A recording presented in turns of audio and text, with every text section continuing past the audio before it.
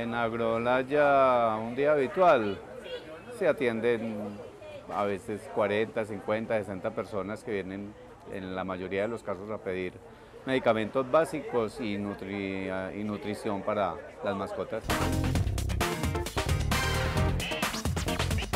El proyecto consiste en brindarle a las pequeñas y medianas empresas de la parte agropecuaria en un aplicativo de acompañamiento veterinario y zootécnico con el cual se busca mejorar eh, directamente el servicio al cliente final.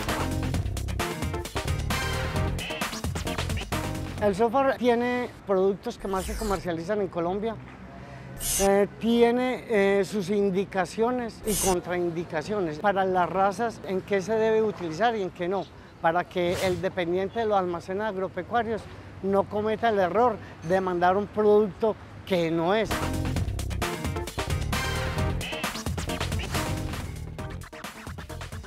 Y ahora con esta herramienta, con esta ayuda, le podemos dar más orientación dependiendo de la sintomatología que le transmite el consumidor. Eso hace de que haya confianza, de que haya más responsabilidad, de que haya más empatía entre el consumidor y el cliente, sea más personalizado, mejor atendido y por consiguiente la mejoría de los animales, que es lo que buscamos en este proyecto.